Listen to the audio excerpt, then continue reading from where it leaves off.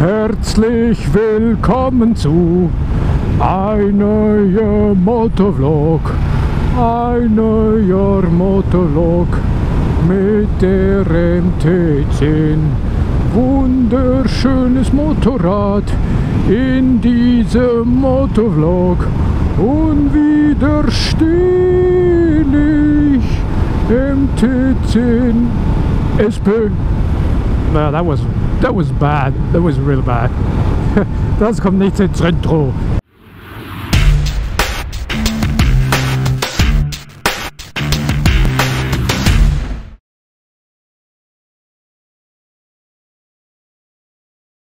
Hey, hallo Leute, herzlich willkommen zu einem neuen Vlog mit der MT10 SP mit Touring Kit. So, wir haben heute eine sehr wichtige Frage zu klären. Und zwar, was taugt die MT10 oder MT10 SP in diesem Fall als Tourer? Und wahrscheinlich muss ich sogar ein bisschen ähm, nochmal zurückrudern und sagen, was taugt die MT10 SP als Tourer, weil der Unterschied ist dank dem elektronischen Fahrwerk dann doch groß. Und äh, ich würde mal sagen, die MT10 SP ist als Tourer mal schon prinzipiell besser geeignet wegen diesem Plus an Komfort, äh, der natürlich auch durch den äh, Tempomaten, der ja serienmäßig dabei ist, äh, ja, ein bisschen erhöht ist. Und darum sagen wir, richten wir diese Frage jetzt einfach wirklich bewusst auf die MT10 SP, die halt mit ihrem äh, Öhlins ERS, also Electronic Racing Suspension Paket, wirklich einen wahnsinnig guten Tour machen kann. Jetzt ist nur die Frage, ist das Ding auch bequem? Und äh, ja, was fällt dir, damit sie ein Tourer sein könnte? Wenn sie nicht ein Tourer ist. Naja, schwierige Frage. Also ich äh, bin jetzt einfach mal 500 Kilometer gefahren dieses Wochenende damit, mehr oder weniger. Verschiedene Situationen, auch mal mit Sozia, äh, auch mal im Schwarzwald, was ein bisschen sportlicher war. Also wir haben jetzt ein paar Eindrücke gesammelt zu diesem Motorrad. Und ich hoffe, ich kann da auch etwas weitergeben, weil manchmal ist es schwierig zu sagen, man hat ja jetzt bei der Yamaha Modellpalette hat man neu die Tracer 9 GT, die wirklich ein atemberaubend guter Tourer ist. Und äh, nach oben gibt es dann eigentlich nichts mehr, weil die FJR 1300 die wurde ja aus dem Modellprogramm genommen leider. Und wer jetzt irgendwie einen Motor haben will, der noch ein bisschen mehr Drehmoment hat als die 93 äh, Newtonmeter von der Tracer 9, der kommt fast nicht um dieses Motorrad hier herum. Und äh, passend dazu gibt es auch ein äh, Touring-Kit mit einem Komfortsattel, mit einer Windschutzscheibe, mit den Handprotektoren, GPS äh, und den Seitenkoffern, den kleinen. Und äh, dieser Touring Kit konnte man schon seit eh und je kaufen für die MT10 und MT10 SP. Und jetzt gibt es das in der Schweiz ab sofort kostenlos dazu, wenn man sich eine MT10 holt. Und ich denke, das wertet dieses Motorrad nochmal auf, zumal man sagen kann, okay, wenn man jetzt den Look der Scheibe nicht mag, aber trotzdem mal verreisen will, kann man das Ding so einfach mit vier Schrauben befestigen. Also ja, super einfach, absolut kein Problem, äh, dieses Motorrad auf diesen Stand umzurüsten. Ähm, eine Frage, die auch so ein bisschen in die Richtung der Tourenfähigkeit gehen mag, ist der Verbrauch.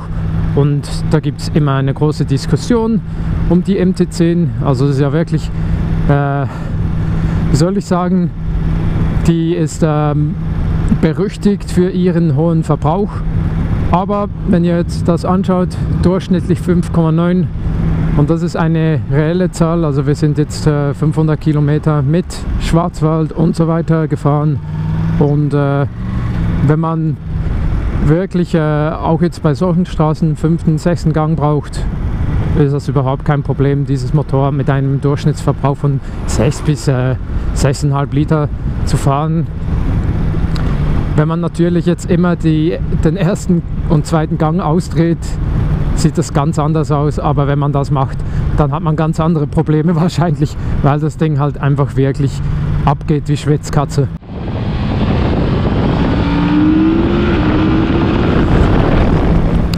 Also ich muss auch ehrlich sagen, äh, dieses Gefühl, das ich hatte, als ich jetzt hier damit zum ersten Mal wieder gefahren bin, seit ein bisschen längerer Zeit, äh, das kann ich jetzt nicht in diesem Vlog repli replizieren. Es ist absolut unmöglich. Ich kann es probieren. Ich hoffe, ihr hört etwas vom Sound. Eben, also ich, ich muss ehrlich mal sagen, ich war so überzeugt, dass die neue MT-09 einfach Wahnsinn ist, dass man vielleicht gar kein MT-10 mehr braucht. Und dann sitzt du drauf, gibst Gas, diese Wahnsinnsleistung setzt ein, der Sound setzt ein.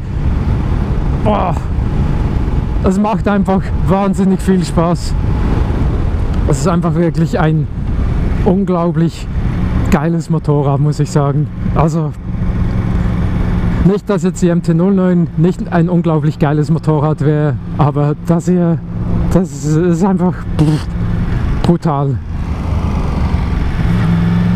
Wirklich brutal. Und was man sagen muss, sie liegt halt in den Kurven noch stabiler. Also man, ich, in der Diskussion, wenn ich jemandem etwas empfehlen will oder muss, ist es immer ein bisschen schwierig, weil ähm, wer jetzt zum Beispiel eher das Superbike-Feeling mit der etwas mehr Stabilität will in den Kurven, ein bisschen sattere Kurvenlage und so, der sollte schon besser zur MT10 greifen.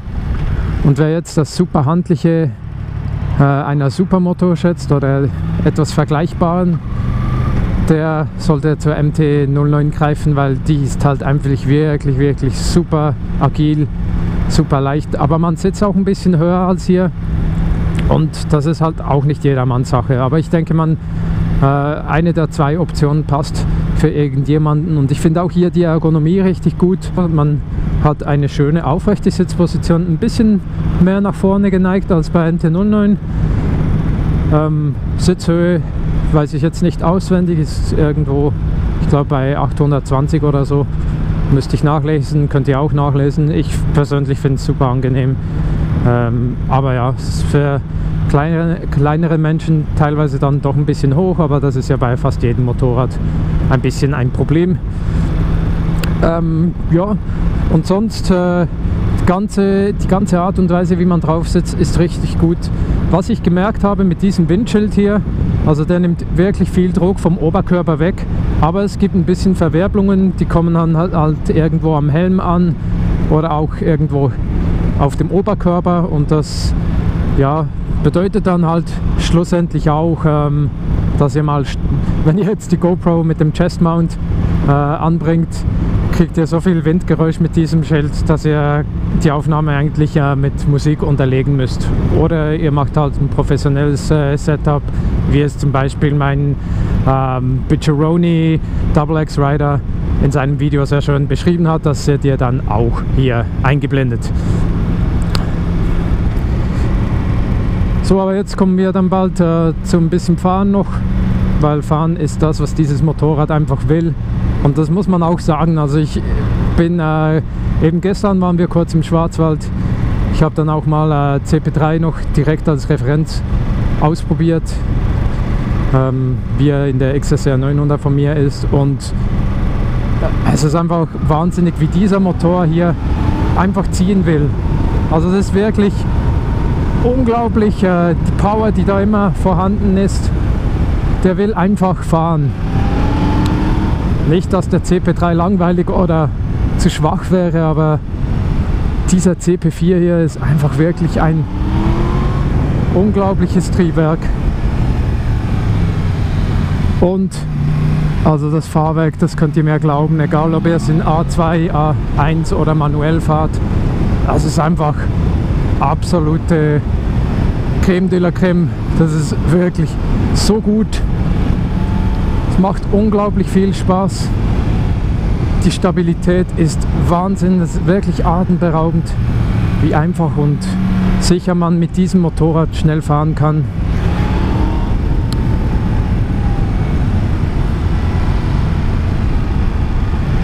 Bremsen passen finde ich ein bisschen weniger aggressiv als jetzt zum Beispiel bei meiner ähm, XSR 900, was ja auch nichts Schlechtes sein muss.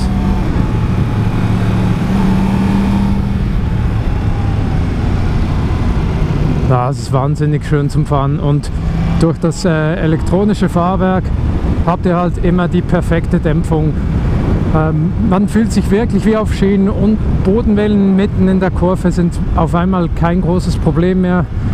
Also ich bin wirklich absolut begeistert von diesem ERS. Also ich, ich muss immer wieder sagen, das ist einfach wirklich etwas vom Besten, was man fahren kann. Ja, also dann dieser Sound. Quickshifter übrigens halt noch ein bisschen die ältere Generation.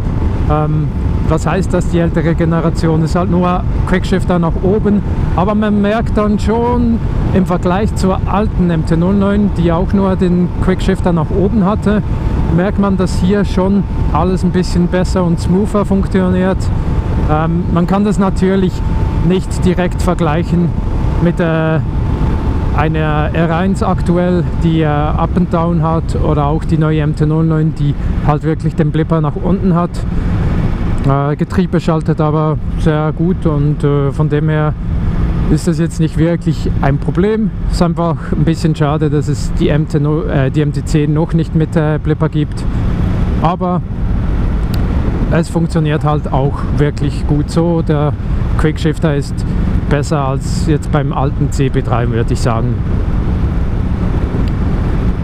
Ja, und sonst hat man wunderschöne Spielereien hier mit dem Display. Also das ist halt äh, das R1-Display, das TFT-Display, da habt ihr schön viele Angaben. Ich gehe jetzt auch nicht ins Detail rein, dann könnt ihr euch nochmal einen Test sonst anschauen von der MT10, wenn ihr wirklich jedes Detail haben wollt. Ähm, was sicher wichtig ist, ihr habt drei verschiedene Fahrmodi, die ihr wählen könnt. Das ist auch etwa übersetzt in äh, Sport, Touring und mit der reduzierter Leistung bin ich jetzt auch gar nicht sicher, wie genau die Motormappings sind, sind aber drei. Ähm, Traktionskontrolle habt ihr auch drei Stufen, die ihr einstellen könnt und eben jetzt hier bei der SP ähm, das elektronische Fahrwerk könnt ihr auch einstellen. Da gibt es äh, zwei Stufen Automatic nämlich Stufe 1 und 2. 1 eher sportlich, 2 noch ein bisschen komfortabler. Und äh, dann gibt es noch M. Und M ist halt wirklich dann frei programmierbar, was ich jetzt nicht ausprobiert habe. Und das kommt dann wahrscheinlich ein bisschen näher in die Richtung eines mechanischen Fahrwerks. Wird wahrscheinlich sinnvoll sein, wenn man jetzt zum Beispiel mit der MT10 SP auf die Rennstrecke gehen will und halt äh, konstant die perfekten Fahrbahnverhältnisse vorfindet, dann kann man das Ganze ein bisschen straffer einstellen und ein bisschen mehr angepasst auf die Situation. Aber jetzt hier für den Landstraßenbetrieb äh, ist dieses ERS wirklich wahnsinnig, wahnsinnig gut. Kann ich also wirklich nur so sagen. Gut und äh, ja, das ist, glaube ich, das Wichtigste, was man wissen muss. Ähm, vielleicht ein paar technische Daten. Ich weiß aber jetzt nur gerade die Motorleistung, ehrlich gesagt. Ähm, die liegt bei 160 PS mit äh, 111 Newtonmeter Drehmoment. Und eigentlich ist das ja auch gar nicht so wichtig. Also die ganze Leistungsdiskussion, die wir äh, haben seitdem, dass, also ich, ich mag mich noch erinnern, da kam die MT10, da kam äh, die Aprilia Tuono V4 und natürlich die Super Duke und die waren alle auf ihre Art Dampfhammer und äh, ja, ich, denke richtige Geschosse und dann plötzlich äh, kamen die Italiener und mussten Superbike-Motoren in die Naked Bikes einbauen mit über 200 PS und äh, ja, man kann davon halten, was man will. Ich persönlich ähm, sehe den Zweck darin nicht ganz, ehrlich gesagt, weil ein Superbike-Motor, der braucht halt viel mehr Drehzahl, damit er seine Leistung entfalten kann. Ja, was willst du mit 200 PS auf einem Naked Bike? Kann man sich jetzt fragen, weil schlussendlich, äh, okay, Vielleicht gibt es den einen oder anderen, der nur dieses äh, Bike hat und mit dem auch Trackdays fahren will. Aber wenn das nicht allzu regelmäßig ist, äh, reichen 160 PS mehr als aus, muss man einfach sagen. Und äh, wenn es regelmäßiger wird, dann wird er sich dann wohl doch wünschen, eine vollverschallte Supersportlerin zu haben. Also ich bin nicht ganz sicher, wo das hinführen will. Die ganze Leistungsdiskussion ist wirklich ein bisschen, ähm, ja, it's, get, it's gotten out of hand, wie man in Englisch sagen könnte. Also es ist wirklich, äh, einerseits äh, schreit die Umwelt nach mehr Vernunft, vor allem äh, halt jetzt auch in, Ver, in Verbindung mit dem Lärm. Mehr Vernunft, ein bisschen angepasster sein und dann gleichzeitig baut man Motorräder für die Straße, die eigentlich nicht für die Straße geeignet sind. Das macht irgendwo keinen Sinn. Und ich denke, einerseits äh, wird das irgendwann mal dazu führen, dass diese äh, Naked Bikes auch in Frage gestellt werden. Und andererseits haben wir noch das andere Problem, diese Naked Bikes äh, zerstören dann auch die Supersportler eigentlich. Weil, äh, ja, warum brauchst du dann noch Supersportler für die Straße, wenn du diese Naked Bikes hast mit 200 PS? Also irgendwo, naja, ich will jetzt da nicht zu negativ sein, aber ich verstehe es einfach nicht ganz, diese Tendenz. Und wer die MT10 mal gefahren ist, der weiß, das reicht mehr als genug von der Leistung her. Dieses Drehmoment, alles optimiert auf einen Straßenbetrieb und nicht, wo man einfach immer die Drehzahl im Auge behalten muss, denn hier geht es auch mal im dritten oder vierten Gang aus der Kurve raus richtig schön. Und das ist ja auch das Schöne an der MT10. So, liebe Leute, mit diesem wunderschönen Ausblick hier auf die Berge würde ich mich dann mal verabschieden. Ich glaube, ich habe alles erzählt zu dieser MT10 SP mit Touring Kit, was ich erzählen will, wollte. Ähm, wie gesagt, wenn ihr darüber nachdenkt, eine MT10 SP zu kaufen und aus der Schweiz seid, ist jetzt ein guter Zeitpunkt dazu, weil es gibt halt diesen Touring Kit kostenlos hinzu und äh, ja, schaut euch das mal an, geht beim Yamaha-Händler vorbei oder macht es auch nicht. Schlussendlich egal. Ich hoffe, ihr habt allzeit eine gute Fahrt und ihr könnt diese Motorradsaison genießen, die jetzt mit dem wunderschönen Sommerwetter äh, endlich richtig begonnen hat. Ja, danke vielmals fürs Zuschauen und ich würde sagen, bis zum nächsten Mal. Das war euer Dragon Rider. Bye, bye, bye.